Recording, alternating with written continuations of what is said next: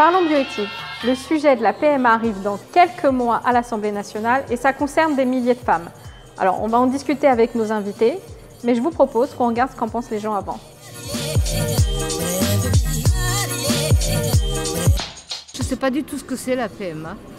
Personnellement, je pense que c'est un peu dommage, c'est-à-dire que rien ne, vaut un, père et une mère euh, pour élever les enfants. Moi, je ne suis, pas contre, non. L'enfant peut, euh, peut trouver euh, tout, son équilibre dans un, en dehors du couple papa-maman, je pense. Après, si je me mets sur le plan des enfants plus tard, ne sachant pas de qui ils viennent, ça, ça complique le problème.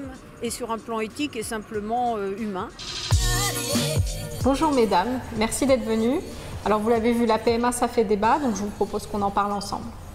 Marie, on vous reproche souvent de vouloir créer des familles sans papa. Alors euh, qu'en pensez-vous? Déjà, ça fait 40 ans qu'il existe différentes familles. Et euh, nous, on n'est pas sans, hommes autour de nous. Euh, il y a des, nos, amis, il y a de la famille, il y a les oncles, il y a les grands-parents. Et si on parle d'autorité, euh, une maman peut très bien le faire comme un papa. Laure, vous avez eu recours à la PMA à l'étranger, vous élevez seul votre enfant. Mais une maman solo, est-ce que c'est pas créer financièrement une famille précaire?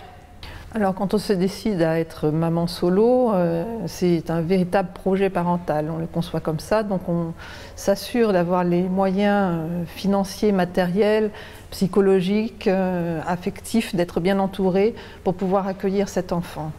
la famille monoparentale, dans le cas d'une séparation, on comprend le déséquilibre puisque le projet a été conçu à deux. Et au moment où on se sépare, effectivement, euh, les moyens ne sont pas les mêmes. Nous, nous nous sommes assurés qu'on pouvait euh, subvenir aux besoins de l'enfant. Aujourd'hui en France, vous n'avez pas accès à la PMA. Alors concrètement, comment ça marche? Personnellement, je suis à la Barcelone. J'ai dû emprunter près de 20 000 euros pour pouvoir euh, avoir cet enfant parce que j'ai dû faire plusieurs essais. Donc euh, la PMA euh, est accessible aux femmes les plus riches, enfin qui ont les moyens ou qui s'endettent. Moi, je me suis endettée, j'ai pu rembourser, mais on peut se mettre en danger. Et pour les autres, euh, celles qui n'ont pas de, moyens, mais ce sont des comportements alternatifs un peu risqués, puisque c'est rencontrer un inconnu, aller sur des sites internet, et avec le risque que le donneur vienne réclamer euh, une paternité. Et donc là, on ne protège pas l'enfant. Ce projet parental, vous l'avez conçu à deux. mais comment ça fonctionne au niveau de la filiation? J'ai accouché en fait d'une grande prématurée, c'est-à-dire à six mois de grossesse.